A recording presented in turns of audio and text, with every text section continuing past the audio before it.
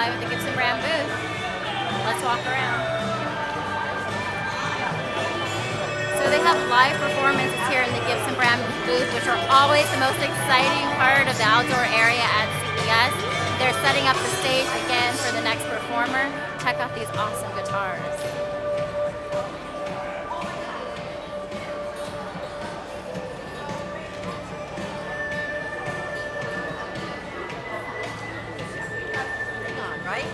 So, um, There's an inner musician, in all of us tech people, right?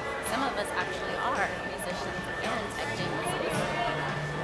We've got headphones, we've got amps, got guitars, bass guitars, Bluetooth headsets, speakers over here. So course, all of these guitars for sale, even on the walls. All right, we'll come back for the next performance.